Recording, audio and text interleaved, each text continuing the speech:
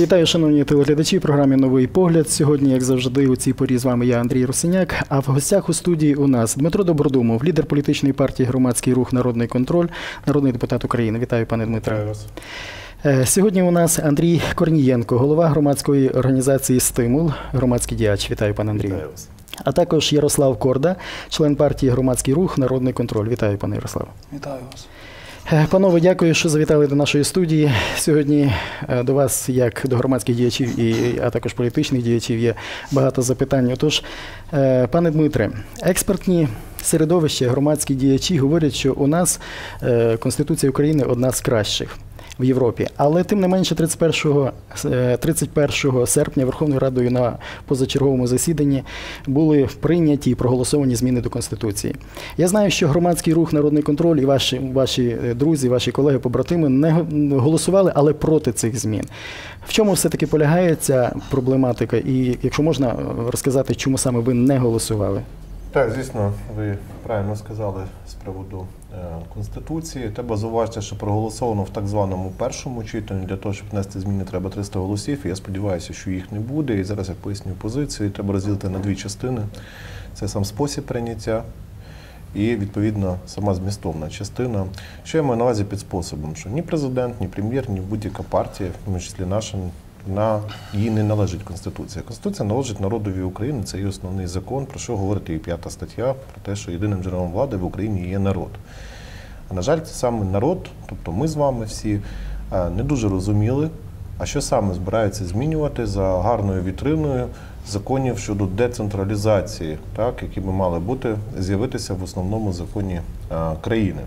Яким чином там з'явилося 14 слів, через які, в принципі, були поламані всі списи, і, на жаль, під стінами Верховної Ради сталася трагедія, де загинуло троє нічому не повинних е, службовці, е, військовослужбовці. Це безперечно трагедія, яку всі адекватні люди будуть засуджувати.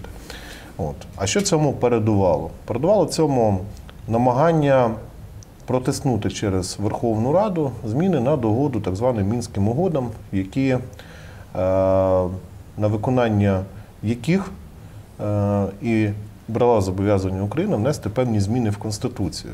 Для того, щоб їх не відокремлювати, тому що було би складно прийняти, бо я нагадаю, що в мінських угодах є, наприклад, пункт про легалізацію по суті терористів, про амністування, про те, про вибори проведення, про фінансування України цих територій. Так це в принципі, як на мою думку, абсолютно е, антидержавні е, речі, які робити вкрай не можна. Вони були вмонтовані в положення перехідні, що стосувалося децентралізації. Ну так, велася розмова, мовляв, це потрібно тільки виключно для, централі...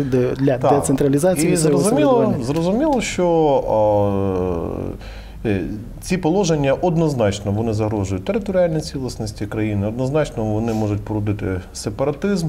А монтувавши їх в основний закон, ми розуміємо, що при будь-якому складі парламенту вистачить потім, якщо це станеться, не дай Бог, 226 голосів для того, щоб взагалі можна буде вести мову і про федералізацію України, так про те все, чого так дуже сильно бажає Путін. Це треба чітко розуміти. Ось це стало основним каменем спотикання. Хоча скажу, що і ті положення, що стосуються децентралізації, вони теж викликають дуже і дуже багато запитань. І знову ж таки людям не розтлумачили, що це таке, пояснивши лише у вас буде більше грошей. Приблизно під таким соусом подається зараз ця інформація. Насправді, уважно проаналізувавши ці пункти, я можу сказати, що про децентралізацію там не йдеться взагалі. Там йдеться про конкретну узурпацію е, на сьогоднішній день влади. І я можу дуже коротко і тезово пояснити, чому Якщо саме. можна, я думаю, нашим телеглядачам це буде надзвичайно важливо і, і, і цікаво Е, послухати. Перше, я так само виступаю за децентралізацію і так само виступаю за зміни до Конституції. Але їх не можна проводити в військовий час, про що, до речі, говорить 157 стаття Конституції. Так, Конституції, до речі, все А те, що ми прописано, ведемо військові дії в цьому, називаючи їх АТО, ну в цьому ж немає ні в кого сумнівів е, з нашим агресивним сусідом. Друге. Наприклад, там вводиться таке поняття, як префе- префекти. Так, тобто це довірена особа президента, яка призначається президентом е, для того, щоб контролювати рішення там районних, обласних, міських е, рад. Більше того, вона наділена повноваженням зупиняти будь-які рішення, так, навіть на стадії його розгляду, не кажучи вже на стадії його прийняття. Та й розпускати вза- взагалі раду.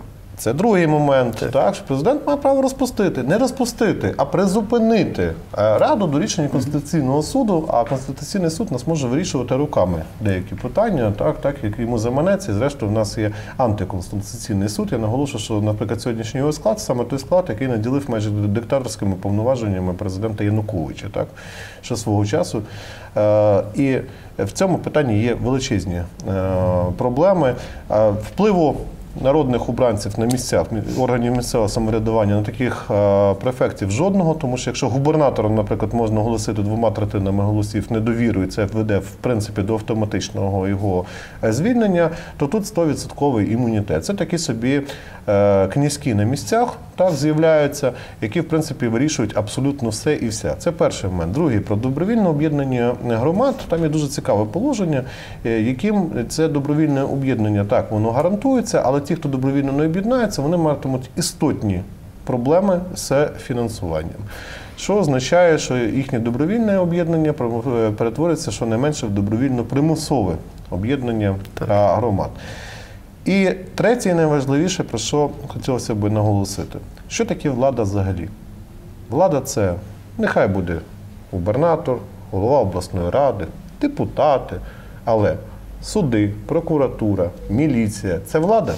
Це теж влада, влада, і дуже серйозна влада, і дуже серйозний каральний інструмент влади. Це влада впливу. А там ні слова про те.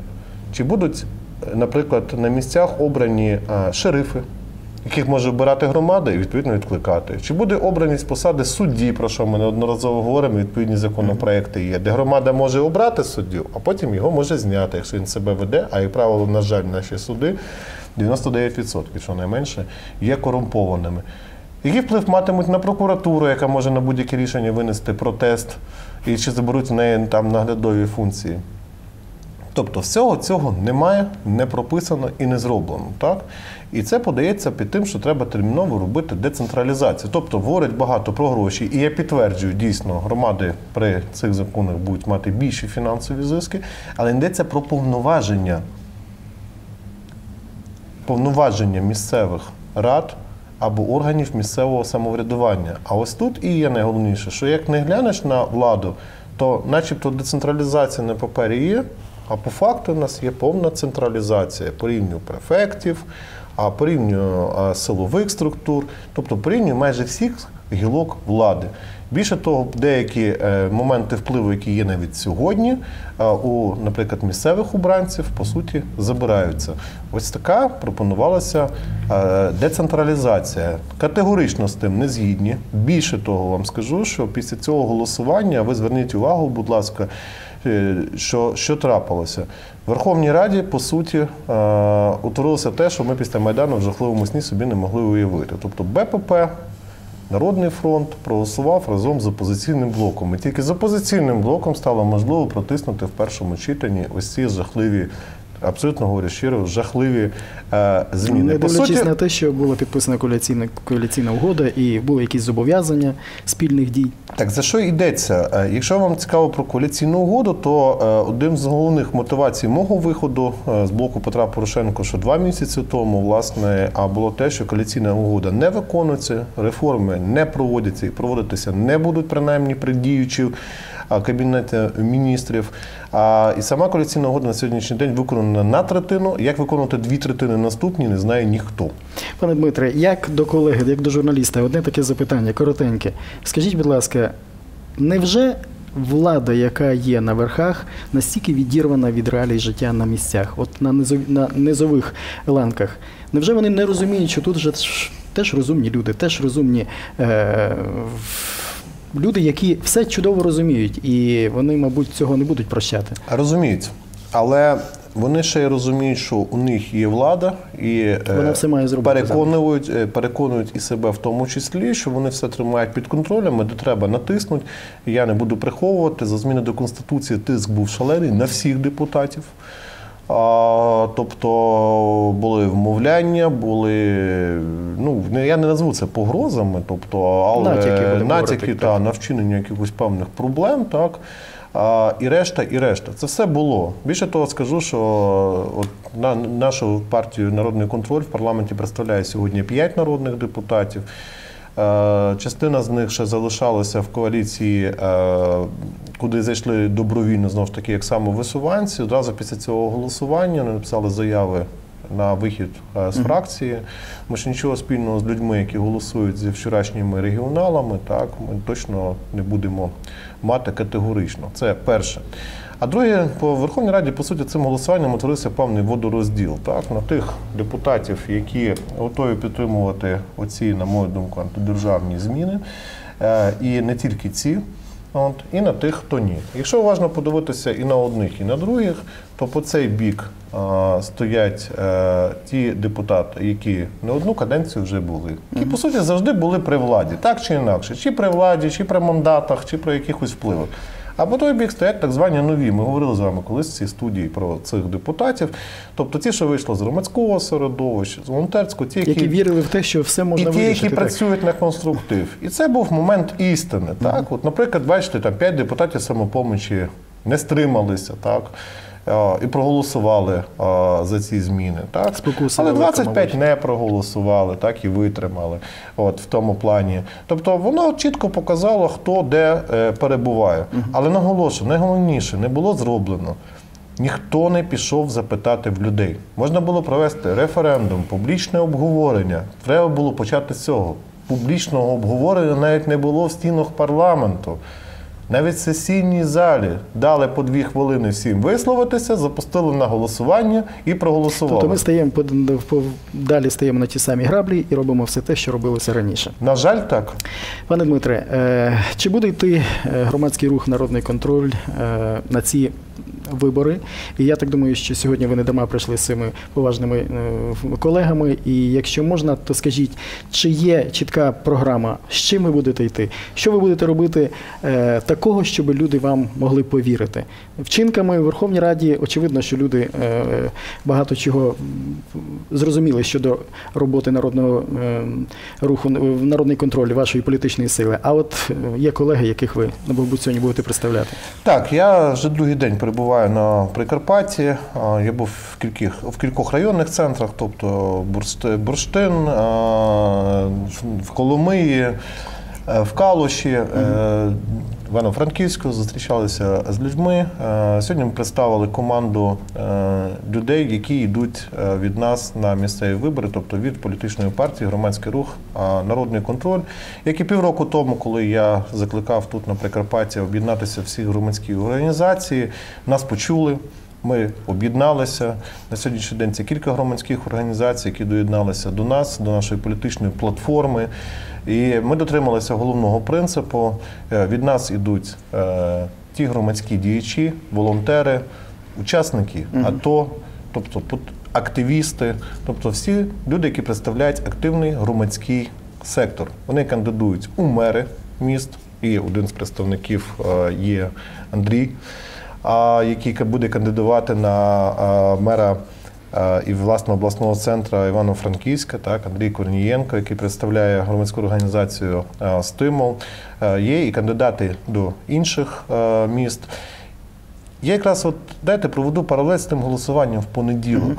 От якраз ті депутати, в основному вихідці з громадського середовища, якраз волонтери, ті самі атошники, оце якраз ті люди, які не піддалися ні на тиски, ні спроби переламування, так, і чітко заявили свою позицію, що те все, що стосується територіальної цілісності, все, що стосується е, деолігархації суспільства, е, це, що стосується спроб е, узурпації влади, так, вони категорично проти цього. Тобто це є маленький меседж, та не маленький, великий меседж того, що ті люди, які е, вийшли з громадського середовища, які постійно дисконтактують з простими пересічними жителями будь-якого міста, вони усвідомлюють, що це кроки неправильні, тому що, мабуть, е, ті, хто наверху, вони І цього не головне, головне, ви правильно сказали, і головне зберігають свою принципову позицію.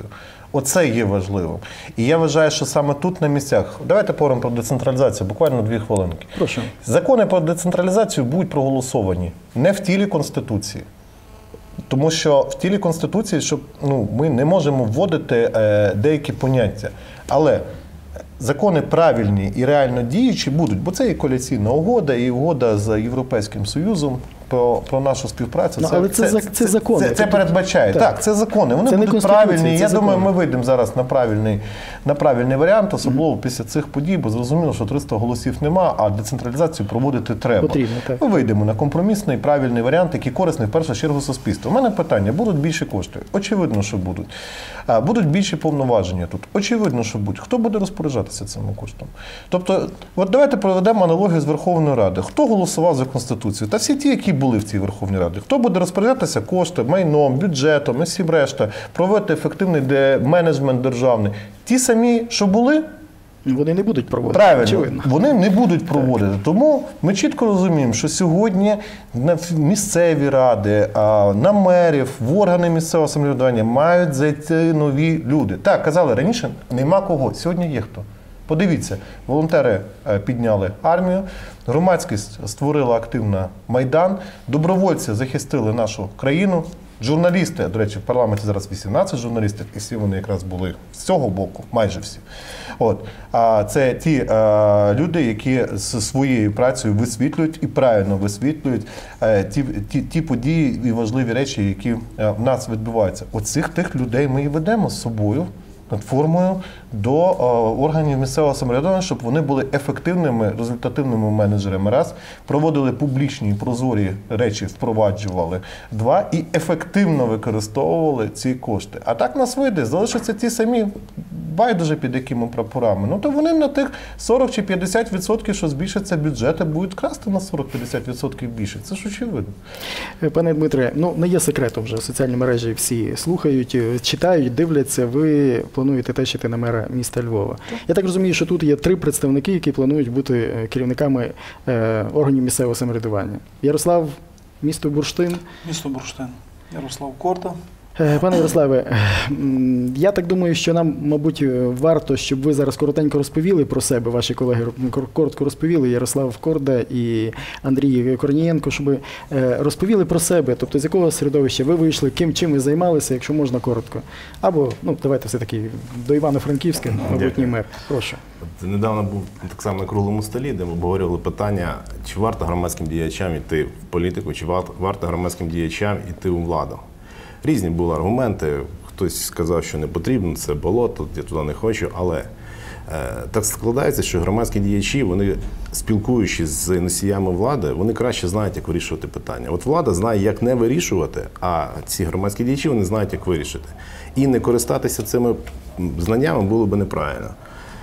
Ще в давній Греції казав Платон, що якщо ти вважаєш себе достатньо розумним, щоб не йти у владу, то змирися з тим, що тобою будуть управляти люди дурніші за тебе. Саме тому у нас є вибір або йти, або не йти. Можна критикувати, а можна взяти, піти і зробити. От саме тому ми прийняли це рішення. Мені 38 років, я народився в місті Івано-Франківську, я тут виріс на цих вулицях. Тут живуть мої батьки, тут народилися і живуть мої діти. Я переконаний, прагну, щоб тут жили мої правнуки і тішилися з того, що ми зробили для цього міста.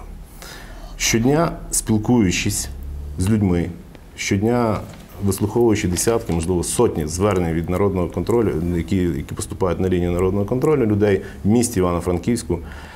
Ми допомагаємо людям вирішувати проблеми їхні, може маленькі, може комунальні, можливо, якісь такі для когось вони видаються незначними, але насправді це для людей є їхні проблеми. З цих деталей складається життя всіх Це, людей. це насправді так і є. І ми бачимо, що питань, які вирішити в місті Івано-Франківську, не існує. Всі питання можна вирішити. Всі питання, які відносяться до компетенції міської влади. Існує тільки проблема в практично ніякому менеджменті, неправильному управлінні. Я не знаю, чи це є недостатньо досвіду, чи це є навпаки умисне якесь діяння, але існуюча влада своїми діями приводить до того, що ці проблеми виникають. Саме тому ми прийшли і ми вирішили. Ми знаємо, як це зробити. Ми маємо досвід. Ми можемо це робити. І я надіюся, що виборець нас почує, і до влади прийдуть ті люди, які можуть вирішити їхні питання. Ну, Андрій скромно що мовчить про те, що в нього багатющий досвід підприємницькою діяльністю в реальному секторі економіки, що він активний учасник Євромайдану і був поранений, до речі, на вулиці Грушевського під час а, сутичок. Він про це не говорить, але про це скажу я. Так? Тому що це, власне, і був наш принцип.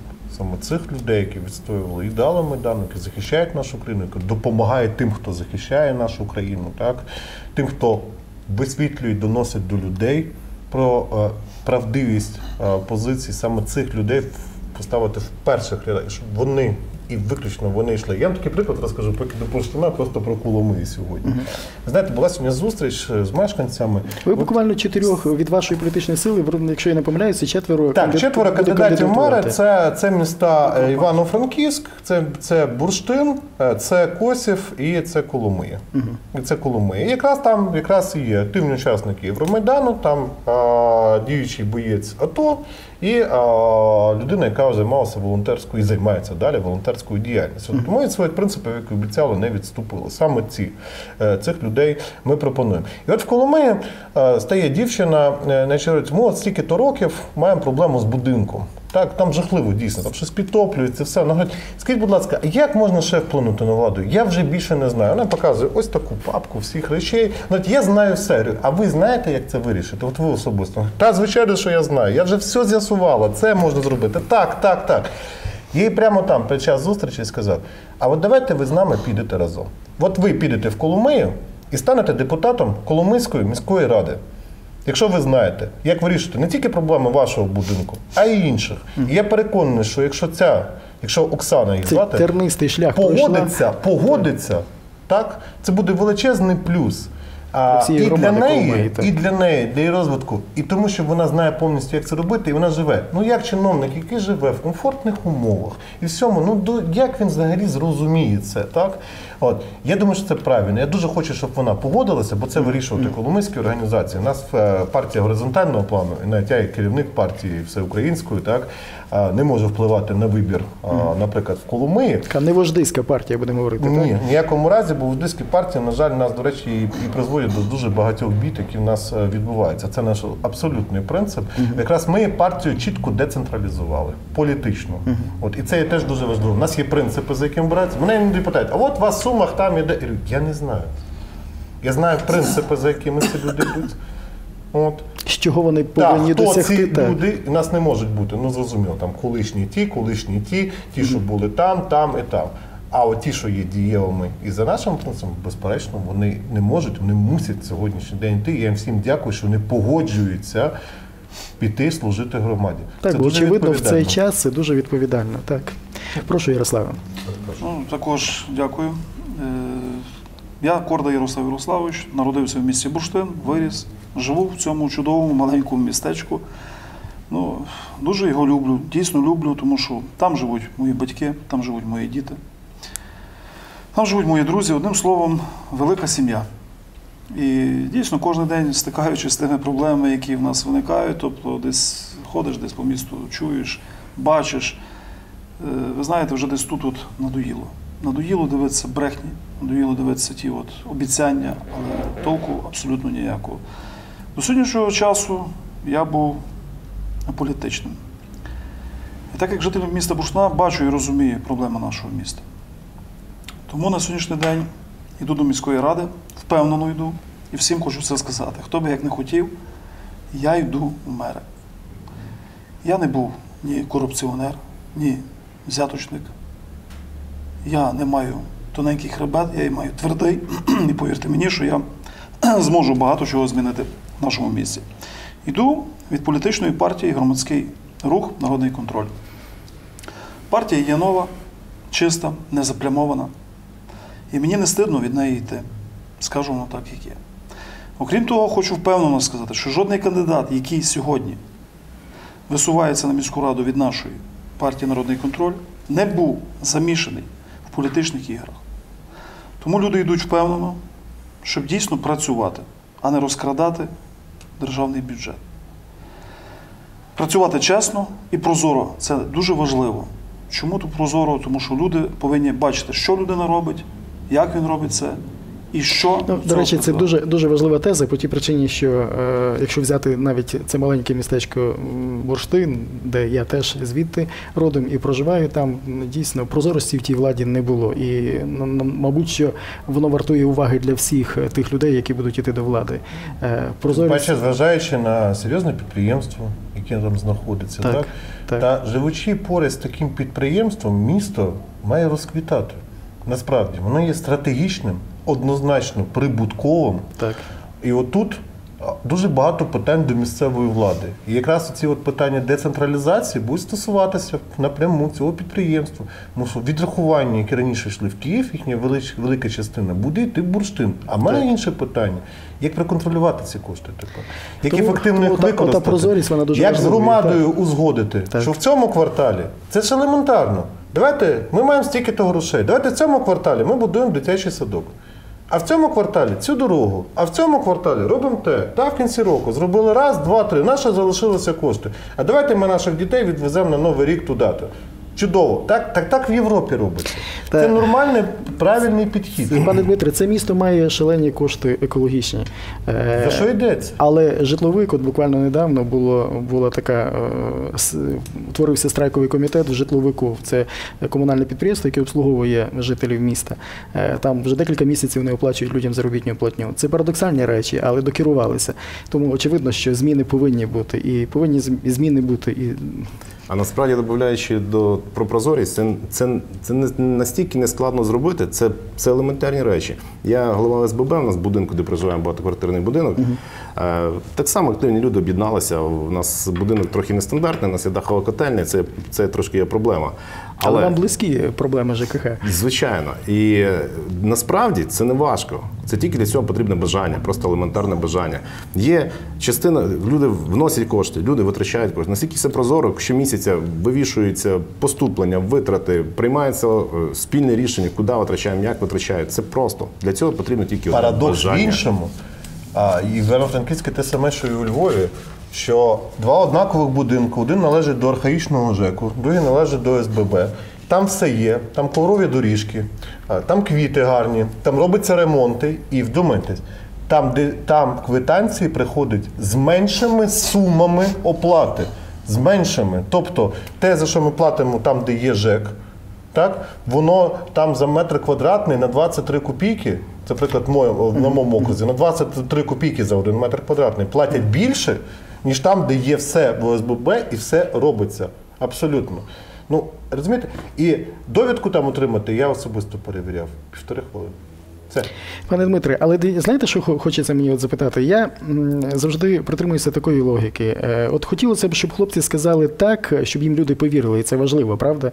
Тобто, бо зазвичай е, подекуди ми на амбіціях е, хочемо щось зробити, ми намагаємося від, від злості до, до якоїсь проблематики щось зробити. Чи готові вони до того, що вони будуть підписувати там платіжні поручення на, на сотні тисяч гривень? Чи не буде спокуси влади в цих молодих людей, які, які йдуть у цю владу? На це дуже важливе питання. є. Наскільки ви готові до таких спокус, і чи не зломитеся й ви, і потім пану Дмитрові прийдеться е, червоніти на найбог милий? Хай цього не буде. Хотілося б, щоб все в нас було гаразд. Але е, я змушений вас це запитати, тому Я що вас будуть питати журна... не тільки журналісти, але й жителі. Дійсно відповім е, на це питання. До речі, щоб розуміли, я більше 15 років є фінансовим директором промислового підприємства, великого промислового підприємства в реа- в реальному галузі економіки. Тому платіжки на е, сотні тисяч гривень це не є щось нове для мене в даному випадку.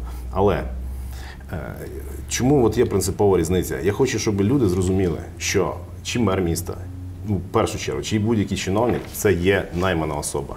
І місто, як от в мене є підприємство, е, акціонерне товариство, є власники, акціонери, які наймають мене на роботу. Мене як менеджера. Вони мені ставлять завдання, Які вам довірили які я- цей бізнес? які я так. повинен так, які я повинен виконати. Я до нього, я мені в голову не укладається, що я можу зробити щось не так. Для цього, тому що акціонери прийдуть, покличуть, зберуть збори і скажуть, що ти зробив, то, то, то не зробив, до побачення. Рівно так само. Рівно так само з такими самими принципами ми повинні підходити до міської влади. Є місто Івано-Франківськ, візьме жителі, мешканці міста Івано-Франківська. Це ті самі акціонери, які от зараз на виборах оголошується конкурс прийом на роботу. Люди подають своє резюме. Я один із тих, який буде подавати своє резюме, де написано, хто я, що я, як я, що вмію і що пропоную. Люди, розглядаючи це резюме, приймають рішення. Ми довіряємо тобі або не довіряємо. І якщо довіряємо, то ти маєш зробити то-то, то-то. Інакше ми тебе притягнемо до відповідальності. Рівно з таким підходом, я маючи досвід управління в іншій структурі, я готовий йти і управляти з такими самими принципами в місті Івано-Франківськ. Дякую, пане Андрій. Прошу, Ярославе. Також, скажімо так, ну, мені 42 роки, і за 42 роки я за собою ніхто не може замітити, десь чи мене десь купляли, чи десь мене нагинали. і десь е, давали, як то кажуть, можливості, і я десь е, куплявся. Такого не було, не є і ніколи не буде. Тому що десь вже достало оці брехні, дурістіка. Е, Я також керував дуже багато років великим підприємством і проходили сотні тисячі гривень через мої руки. Гроші я бачу, знаю, що таке гроші. Гроші це не є важливість, повірте мені. Без них дуже важко жити. Ну, коли ти їх маєш на руках, треба вміти ними керувати, а не розкрадати. Просто нагло красти, а потім бігаючи по місту, ховаючи очі, десь е, не розуміючи, там, що тобі мають задати, що ти маєш відповісти. Ні, ви знаєте, цієї хитрості вже є дуже багато. І повірте, я не, не хочу навіть бачити зі сторони, а в собі я це взагалі давним-давно викоренив. У мене такого просто не існує. Я вмію керувати, я знаю, як керувати, і повірте, я не дам нікому жодному своєму виборцю за мене десь червоніти. Це я вам обіцяю. Знаєте, як в Верховній Раді е, можна дуже спокійно будь-кому визначити, хто є новий, а хто є старий депутат. Мгм. Знаєте, я це звернув увагу, потім спостерігав, і е, всі нові депутати, от якраз ті, що вийшло з громадського середовища, ці нормальні дієві депутати завжди заходять в Верховну Раду через центральний вхід.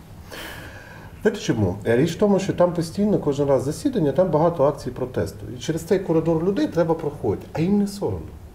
Їм не соромно, їм нема чого боятися проходити через цих людей. А оці старі, вони там якимись підземними ходами ходять, з заднього двору заходять. Ви знаєте, я от в п'ятницю був на одній з програм на центральному телеканалі, напроти мене сидів Юрій Бойко з Опоблоку, так? колишній високопоставлений регіонал. Він вже другий рік має сидіти свій 25-річний термін у в'язниці, так що найменше тільки за ті вишки його легендарні. Натомість він абсолютно спокійно сидить на ефірі, там, пробує розповідати про те і вчити, і вчити жити нас. Це говориться про одне, що ми не зробили найголовнішого. Ми не покарали за злодіяння попередніх, ми не караємо теперішніх за всі ті корупційні скандали, за все решта. Більше того, ми дійшли до того, не ми. Ми якраз відмежувалися від цього категорично з позицією, так? Але депутати, які себе позиціонують з демократичного табору, так, з найбільшої фракції, дійшли до того, що співпрацюють з ними в принципових голосуваннях, які нічого не мають спільного ні до реформ, ні до розвитку країни. А ще в нашій країні унікальний випадок, коли друга за чисельністю фракція, маючи свого прем'єр-міністра, міністрів, владі людей, взагалі не йде на вибори. то Взагалі не збирається підтверджувати свою легітимність і каже, ні, ми на вибори не йдемо. Такого взагалі, в принципі, в прецедентах немає. Ну що тоді вам треба просто писати заяви на звільнення, декому заяви явку з повинною в Генпрокуратуру треба писати з цих людей. Так? А вони кажуть, ми не йдемо, тому що ми робимо непопулярні реформи, тому в нас немає рейтингу.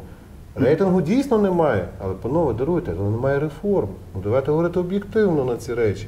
Отакі нас чудесі зараз вибираються. Але ці люди, я зараз мовлю про Народний фронт, так, як очолює прем'єр-міністр Яценюк, зараз підуть обхідними шляхами тут же на місцевих виборах, так Через інші у списках сили. так блоку Петра Порошенка, які разом з ударом зараз підуть сюди разом. І ті самі люди будь-який спосіб намагаються зайти офіційно, не йдучи на вибори, вони вже йдуть з новою коаліцією. Я не здивуюся, якщо вони опиняться десь на, на, на сході в списках опозиційного блоку, з яким вони тепер голосують у Верховній Раді. Пане Дмитре, ви у мене вихопили запитання. Тоді запитання до вас.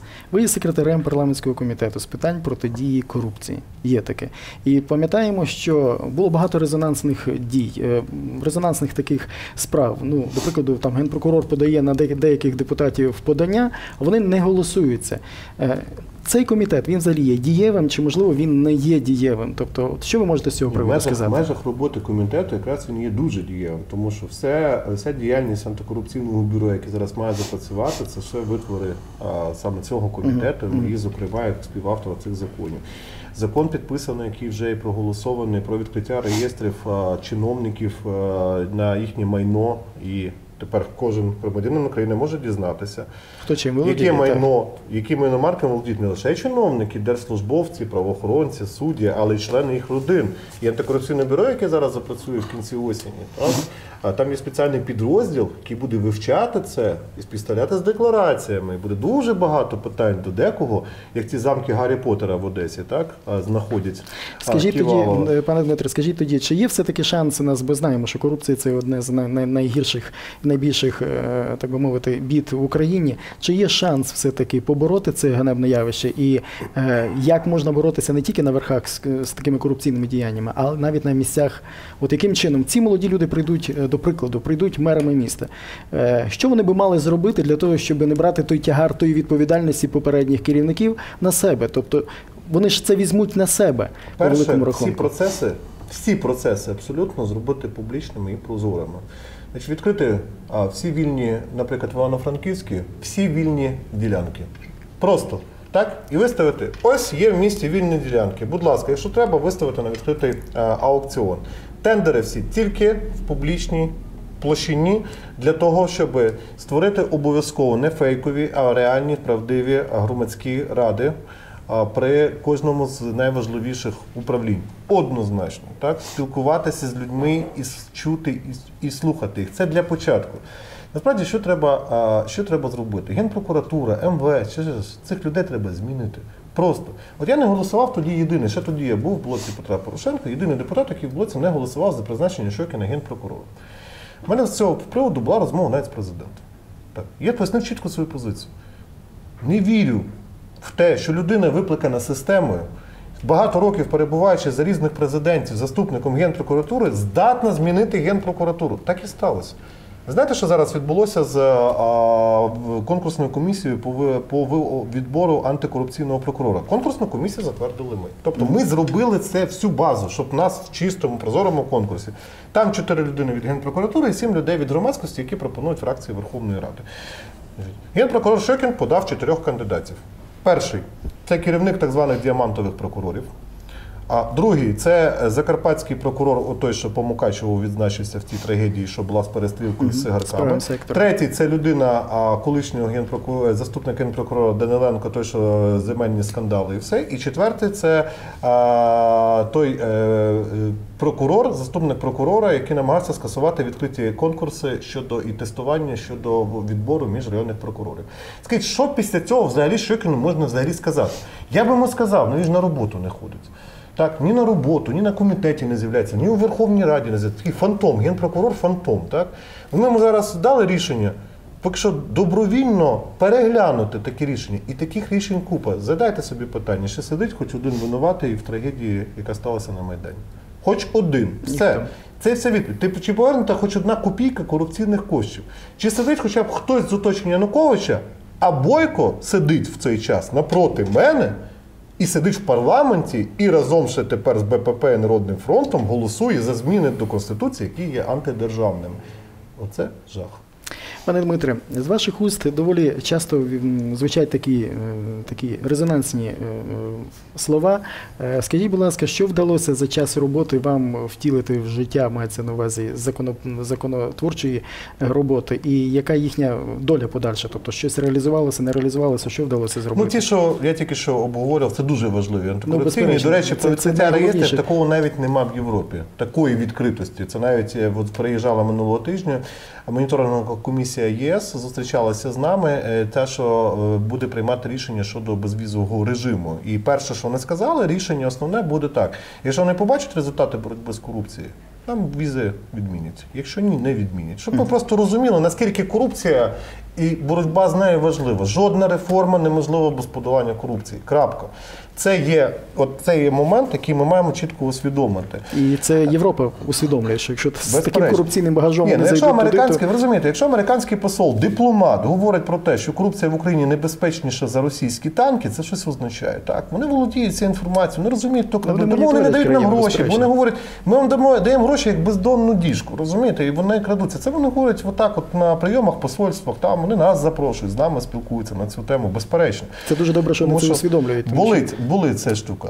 Ну, от з конкретних, е, бо законопроєктів прийнято багато. Е, вас невдовзі вже почався набір і розпочне роботу поліція. Так? Тобто я там автор принципових правок, які прийнялися так, до о, діяльності власне о, цієї поліції. Так, це е, вітринна реформа, так звана. Так, ми розуміємо, патрульна. Але важливо.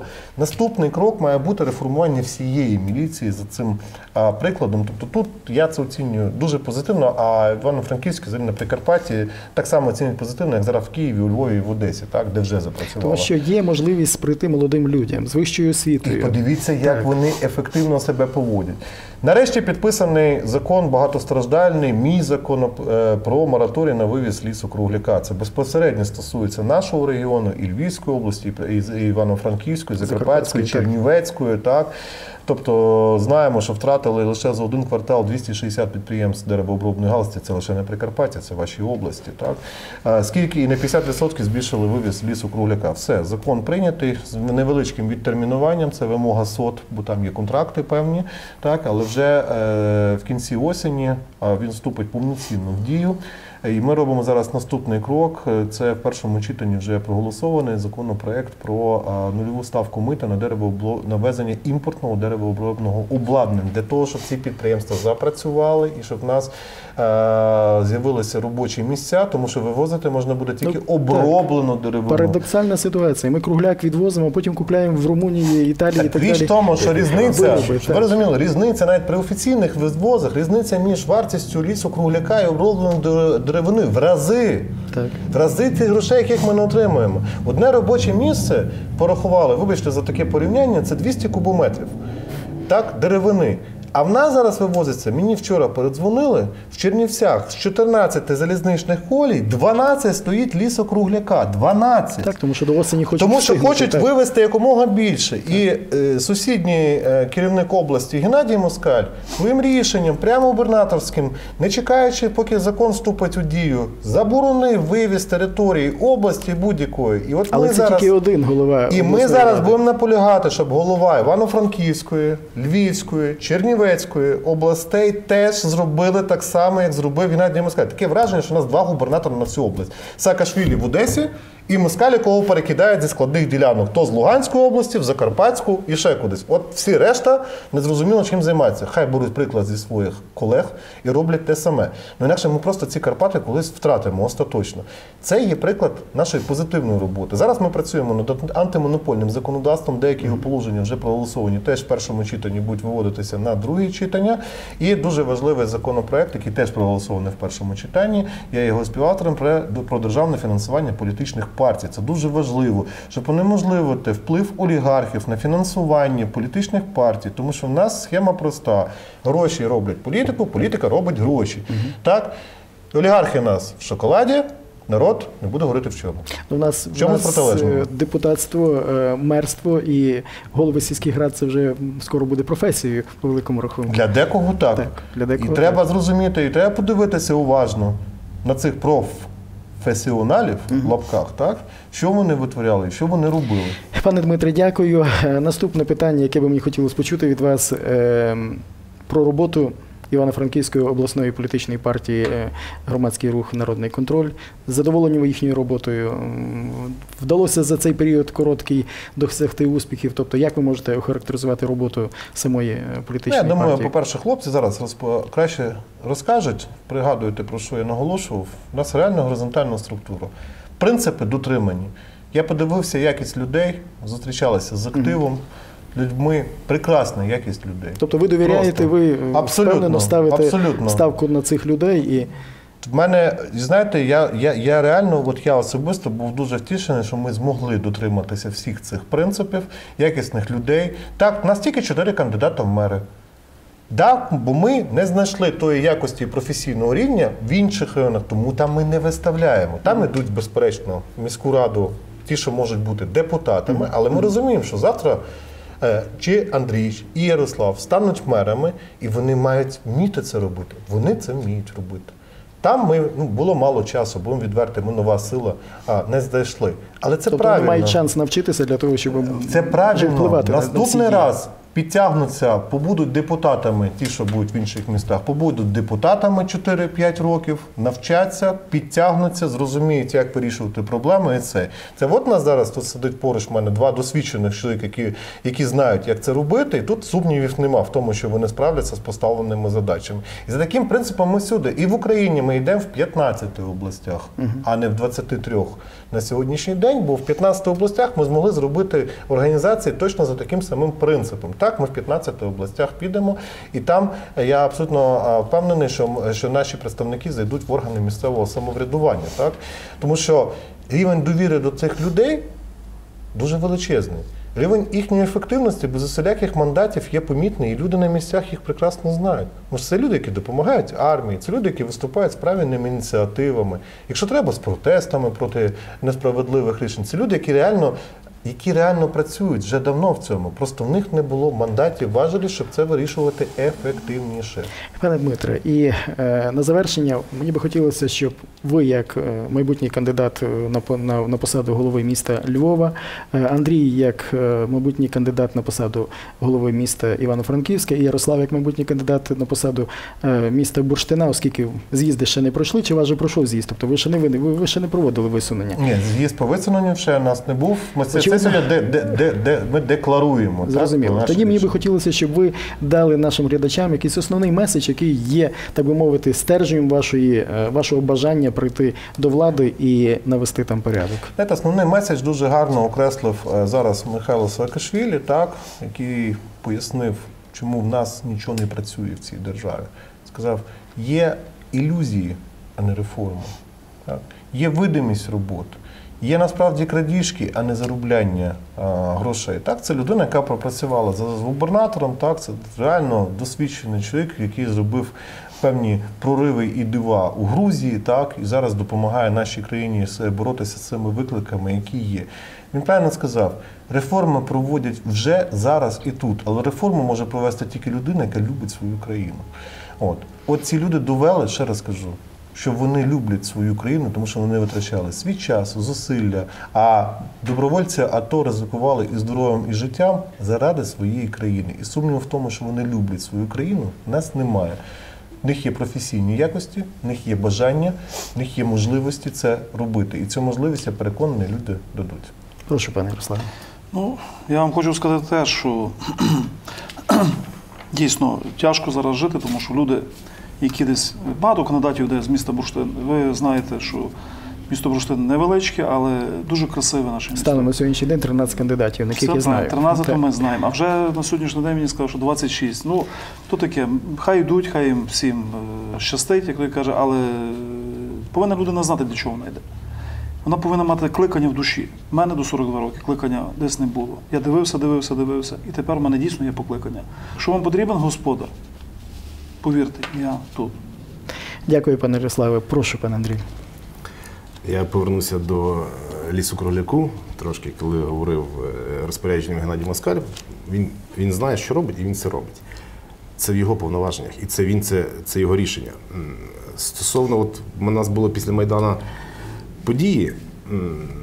Коли після вибуху гранати я був в лікарні, і мені на слідуючий день були, мене допитували вже як е, учасника масових заворушень. Тобто було бажання зробити цю роботу. Після того, коли там пройшли Майдан завершився, перемогла революція, я рік не міг зробити судово медичну експертизу. Тому що прокуратура не працювала. Тобто, коли є бажання працювати, робота робиться. Коли немає бажання працювати, робота не буде робитися. Е, Ми знаємо, повторюся, ми знаємо ті проблеми людей, з якими вони стикаються щодня. Ми знаємо, як їх вирішувати. Ми знаємо, що для цього необхідно зробити, і саме з таким меседжем, з таким посилом ми йдемо до людей. А ще хотів з одною додатковою мотивацією, як провели дослідження аналітики, є родова приналежність кандидата чи е, керівника органу місцевого самоврядування до саме цієї міста, де, він міста чи села, де він працює. Е, Місто Івано-Франківську за весь час незалежної України не було мера, який був походженням родом з міста, міста міста Івано-Франківська. І напевно в цьому теж є проблема. Е, Він не виростав на цих вулицях, він не знає, що відбувається в цьому місті. Йому це традиції міста не цікаві, і тому до нього так відношення. Саме тут є три кандидата, от так співпали, що всі вони народжені в тих містах, до яких кандидують. Я думаю, це буде додатковою мотивацією, додатковим стимулом людей дати підтримку. Панове, я Це дякую. найбільше, що може бути, тому що ми там виросли. Ми знаємо всі болі нашого міста. Ну, це і важливо, безперечно. Я вам дякую за вашу відвертість, за вашу щирість, е, за, за ваше бажання змінити нашу країну і, зокрема, ті, ті міста, е, куди ви будете кандидатувати. А нашим телеглядачам хочу нагадати, що саме сьогодні у нас Дмитро Добродумов, лідер політичної партії Громадський рух Народний контроль, народний депутат України, кандидат на е, посаду голови міста Львова. Андрій Корнієнко, голова громадської організації Стимул, громадський діяч, теж кандидат на посаду голови міста Івано-Франківська. І Ярослав Корда, член партії Громадський рух Народний контроль, кандидат на посаду е, міста на голови міста Бурштина. Дякую. І Дякую думаю, що ми ще неодноразово з вами зустрінемося в нашій студії. Хай щастить. Дякую Дякую. вам. Хай щастить, дякую.